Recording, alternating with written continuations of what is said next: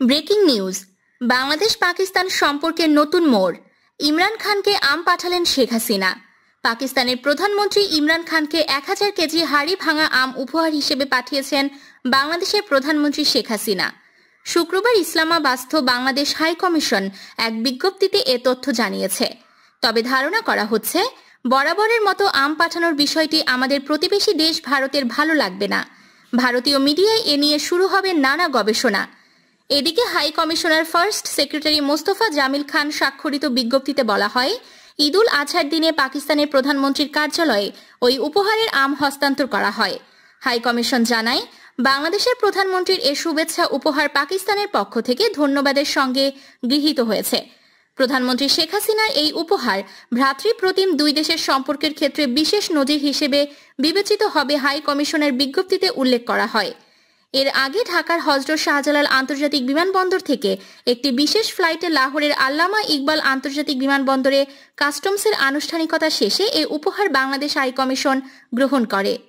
বাংলাদেশের প্রসিদ্ধ এই হাড়িভাঙা আম গ্রহণ করে শুভেচ্ছা উপহার পাঠানোর জন্য পাকিস্তানের প্রধানমন্ত্রী ইমরান খান বাংলাদেশের প্রধানমন্ত্রী শেখ হাসিনাকে আন্তরিক ধন্যবাদ ও কৃতজ্ঞতা জ্ঞাপন করেছেন বলে হাই কমিশনের বিজ্ঞপ্তিতে জানানো হয়।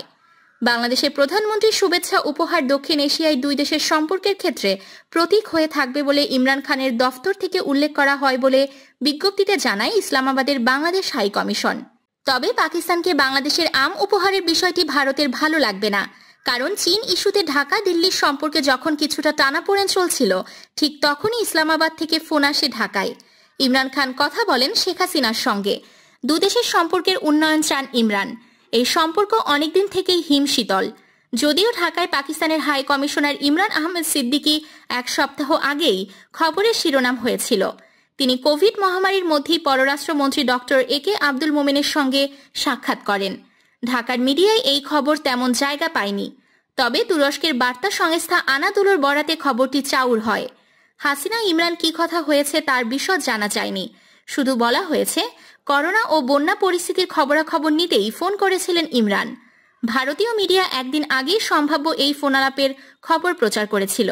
ওই খবরে এই অঞ্চলে চীন প্রভাব বিস্তার করতে এটা তারই ইঙ্গিত বলে বর্ণনা করে মিডিয়া।